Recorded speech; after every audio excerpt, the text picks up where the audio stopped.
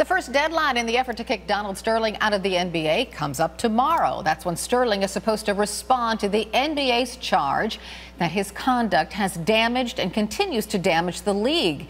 It comes as his wife sits down with potential buyers over the sale of the team. On Sunday, Shelly Sterling reportedly met with the former Microsoft chairman Steve Ballmer. And according to ESPN, there are six serious bidders for this franchise. So let's talk about that. With me now, CNN commentator and senior writer for ESPN, LZ Granderson, and Brian Claypool, a criminal defense attorney and a Clippers season ticket holder.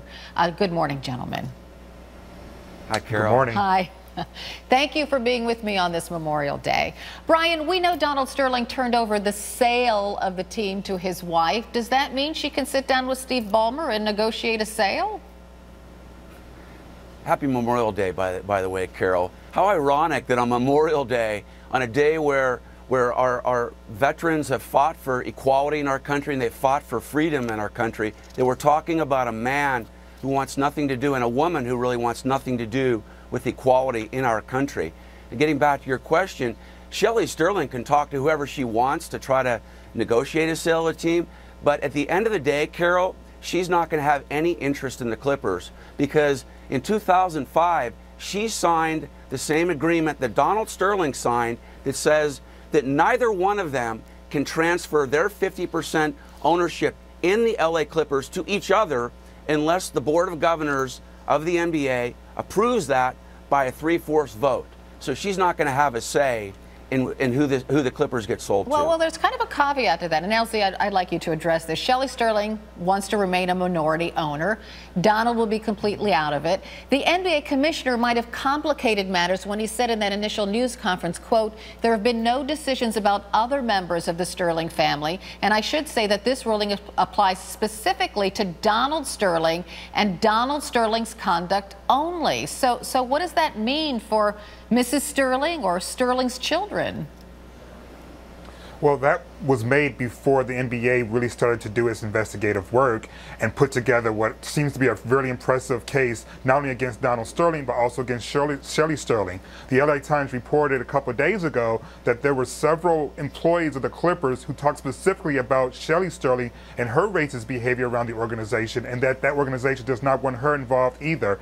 You also have had leaders like LeBron James, players in the league, saying they want no Sterling to be a part of the Clippers franchise. And so while she may have a desire, either for tax reasons or just vanity reasons, to want to hold on to a portion of the team, the reality is she doesn't have the support in the league office nor with the players to have make that happen. And Brian, I think LZ brings up an important point. I would think LeBron James at this point is the all powerful person here. He could lead a boycott if any Sterling family member has a stake in the Clippers. So that, that sort of settles how the NBA is going to fight this, doesn't it?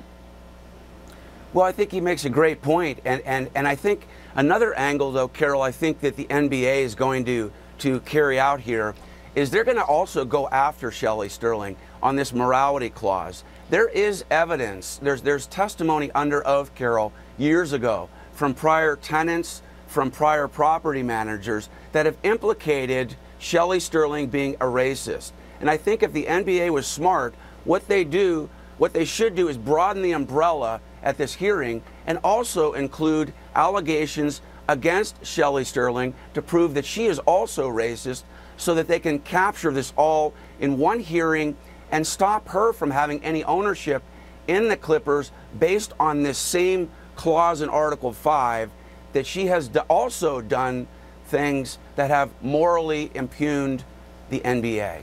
Okay, so LZ last. You know, the thing that's interesting. Oh, go ahead. Mm-hmm. I was going to say the, the, thing that's interesting about that is that I don't think the NBA wants to really air out that dirty laundry because ultimately the question then becomes if you knew this about the Sterlings, why didn't you do something sooner? Why didn't you do something 10 years later or earlier rather? There's video of her you know, portraying uh, uh, uh, someone in the government trying to identify the race of the people, the occupants of the of the rooms that they were renting, of the apartments they were renting. And the NBA had this information like 10 years ago. So they don't want that dirty laundry out there because they got to figure out why they didn't do something sooner. And if I can just say one more thing, and that is thank you to our veterans and those who are serving uh, on this Memorial Day. Absolutely. Okay, so uh, I'd like to wrap this up by kind of pondering who will eventually own the Clippers because I don't think it'll be the Sterlings. I don't think it'll be any Sterling. I don't think any think that. So Shelly Sterling approaches um, Steve Ballmer, right, LZ? So is he out of the picture just because Shelly Sterling sat down with him, you think? Well, well, Ballmer was involved with a group trying to keep the Seattle Sonics at the time in Seattle. And so this is a man in which the, the league knows. He was sitting next to Adam Silver a couple weeks ago uh, at a Clippers game. So this is someone the other owners have been familiar with and someone who's worth $20 billion, so he would be ideal.